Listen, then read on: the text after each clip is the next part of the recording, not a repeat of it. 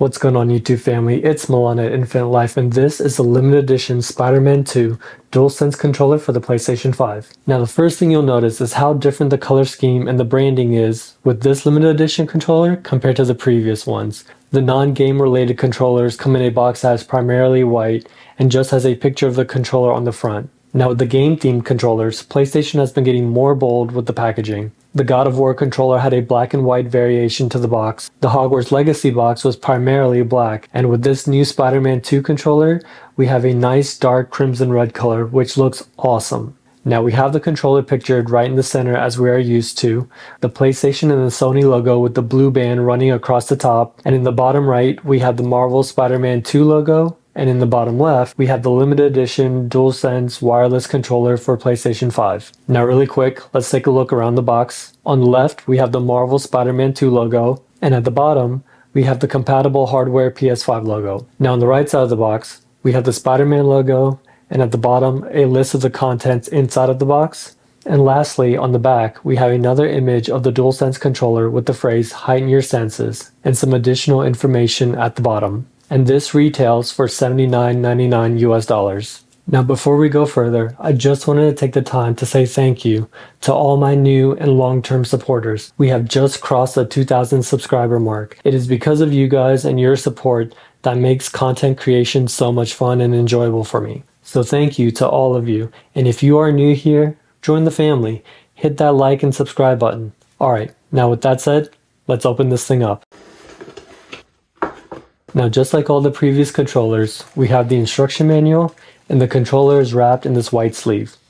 And there it is, the newest limited edition controller for the PlayStation 5. Now there are things that I like about this controller, and then there are some things that I don't. First, let's start with the things that I like. I love the two-tone shell, making it look like the base plate is red with the black symbiote taking over Spidey's red suit. Now we have a white Spidey logo in the center of the touchpad, and they also went with the white translucent PlayStation buttons on the right and the black translucent D-pad buttons on the left. This is a really nice touch of contrast and it looks really cool. The share and the option icons above the buttons are white and the PlayStation home button is black. We have all black bumper and trigger buttons like we've seen in the previous PlayStation controllers. And ultimately, if you have used any DualSense controller in the past, you'll feel right at home with this limited edition Spidey controller. Now, PlayStation definitely has a formula with these limited edition controllers.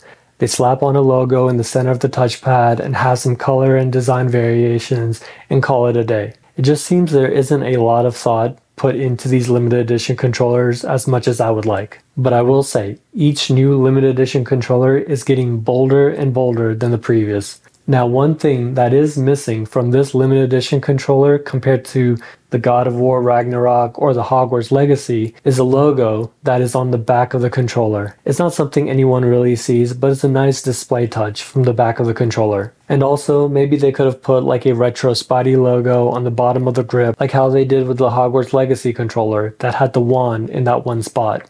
Uh, I will say, this is my favorite game themed controller for the PlayStation 5. I'm still a big fan of the gray camo, and I love my custom PlayStation controller with the retro color icons and the PlayStation home button. Now when it comes to functionality, this is the same as any previous DualSense controller. Nothing new here. If you are familiar with any previous PlayStation controller over this past generation, you know what to expect. Historically, I've never been a big fan of PlayStation controllers in general, but the DualSense is a major upgrade compared to the previous DualShock controllers. The size, the ergonomics, the weight just feels so good with these controllers. Alright, so let's talk about the Spider-Man 2 PS5 plates. These are impossible to get. The initial release from PlayStation Direct sold out in seconds, and the more recent drops have fared just the same. So instead, I'm going to make my own Spider-Man 2 themed plates. So I have a set of black plates and I ordered a third party set of red plates. Now the PlayStation official Cosmic Red isn't really red enough as I would like. It has some purple cherry to it, so I wanted a red color that was going to have a lot more pop to it. I also ordered some Spider-Man and Venom vinyl stickers. And of course, I'm going to have the Spider-Man logo on the red plate, which is going to be on the left side of the console. And I'm going to have the Venom logo on the black plate, which is going to be on the right side. Okay, so let's add the vinyl stickers to the plate first. Now the PS5 plates are roughly 10.2 inches by 15.4 inches. So if you want to find the center, we're roughly at 5.1 inches by 7.7 inches. Now these vinyl stickers are about 8 inches in size, and I'll link the Etsy store which I ordered them from in the description below. I think these look great. Now that we have the vinyl stickers on the plates, we have to replace the white face plates from the console with these new ones. First, I'm going to remove any game disc from inside of the console from the disk drive, power off my PS5, and unplug the power, HDMI, and Ethernet cables. Now the first time you try to take off the faceplates, it can be a little hard and tricky, but after you do it once, you'll understand how it works. The easiest way is to lift up the top back corner, and what you are doing is raising these little round pegs that lock the plates into place. As you can see on the plates here, this is what clicks into the console here. And once the pegs are released, you just simply slide the plates downward and the plates are released. And we will do the same thing on the other side. You can see I scratched my console from trying to remove the plates for the very first time. I used too much force but it's okay because no one sees this anyway. While we have the plates off, let's go ahead and remove any dust that might have built up over time. Now I know this is going to be a controversial topic and what is the right way to clean tech, but this works for me and I've been doing this every few months since I've had my PlayStation 5. First, I'll take a microfiber cloth and wipe away any loose dust or dirt. Next, I'll take my vacuum here and mostly use it around the fan to pull away any loose dust. Now I'm not pressing hard against the console or trying to make the fan spin, just lightly running the bristles over the area to pull away any loose particles. Let me know in the comment section how you guys clean your tech.